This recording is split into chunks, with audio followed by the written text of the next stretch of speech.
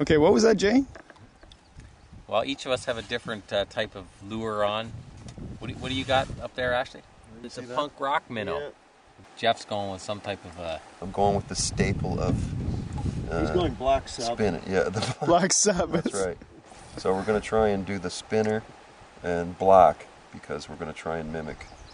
Uh, I don't know a spinning, um, like maybe a like an acrobatic leech. an acrobatic leech. hey, there's gonna be so many lines in this, this these waters that they, they don't even wa- they, they, they, they're gonna be so confused. They won't know what to do.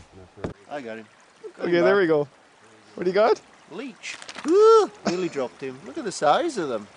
Okay, so what we're doing is, Oh, look at it! It looks like a little friggin' snake. I know, we've got into this part. I don't know if you oh, can see any of these. Wow. The whole water is infested with leeches. Let me see if I can zoom in on one.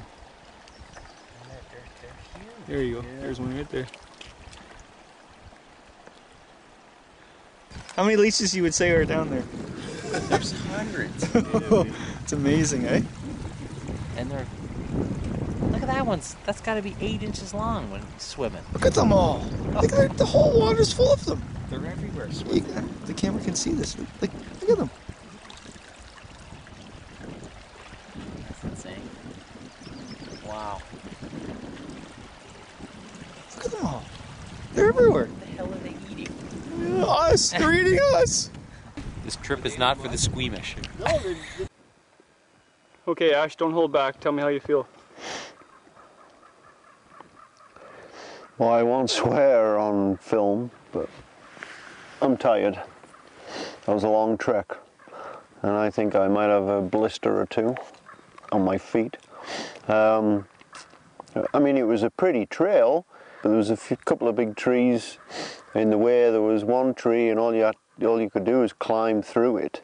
So you make a little uh, a little cave, get on your hands and knees, and crawl through. So, um, but other than that, it was good. I'm glad it's over. And the other two guys, they've headed out long before we did. They're setting up camp, we hope, and they'll have coffee on and a fire going, and we can pop our blisters together. Because I think Kevin's got some blisters as well. Check that out. So what are you cooking, boys? Uh, it's gonna be spaghetti sauce, but we're uh, kind of doctoring it up a little bit. Add a little onions and um, some uh, Minced garlic. Pepperoni and Montreal steak spice. You know, this is um, people think when a lot of people out there don't like camping because they think that they have to so-called rough it. Well, Wow. I eat better when I camp. See, if I was at home, I'd have uh, a bowl of Captain Crunch with chocolate milk on it. Seriously. We're having curry, our traditional curry, um, with sausage, sausage, summer sausage, and um, poppadoms, curry and onions, and couscous. All washed down with the uh, nice glass of wine.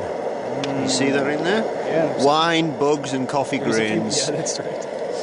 From night one, I guess. Um, well, I should start at the beginning actually. Um, when we went to unpack everything for uh, putting up the tent, we uh, I don't know where it is, but we ended up with a pole, and it was about year long. It wasn't very long, and it was for another tent, and it was for the vestibule. And as you can see, um, who packed that, by the way? Oh, that was you. That was Kevin Callan, the famous canoe author, tripper, whatever else. I'm but anyway, so he's he's been hanging out with uh, Ray Mears quite a bit, and uh, he could actually get some saplings, and we made a pole, and we've duct taped it together, and it's actually working. So the moral of the story is. He ain't packing anymore unless he's supervised.